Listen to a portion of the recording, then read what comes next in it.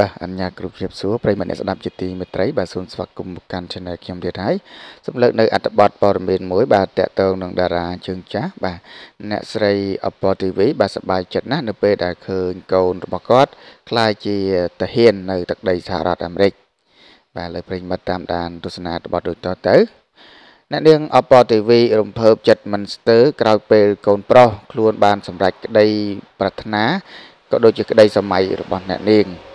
សហរដ្ឋអាមេរិកបាទជឿជាក់ថាប្រិមិត្តពិតជាជ្រាបច្បាស់រួចមកហើយតារាសម្ដែងអំពតទីវីជាតារាសម្ដែងស្រីដែលមានគេឈ្មោះល្បីល្បាញបាទទោះ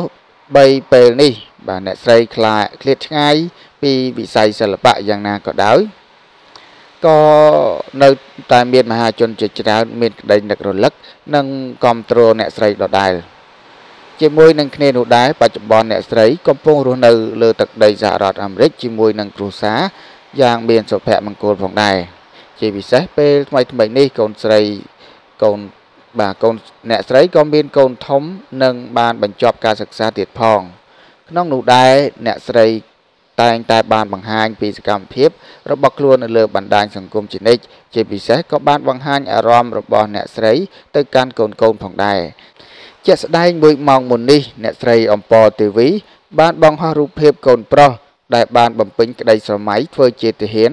ហើយអ្នកស្រីក៏បាននិយាយពីអារម្មណ៍យ៉ាងរំភើបពេលបានកូនប្រុសអាចបំពេញក្តីស្រមៃរបស់ខ្លួនបាន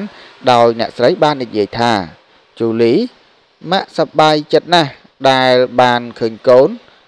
ការងារដែលកូនស្រឡាញ់ម៉ាក់នៅពីក្រោយកូនម៉ាក់នឹកកូន សូមឲ្យកូនប្រុសម៉ាក់បានសុខសប្បាយ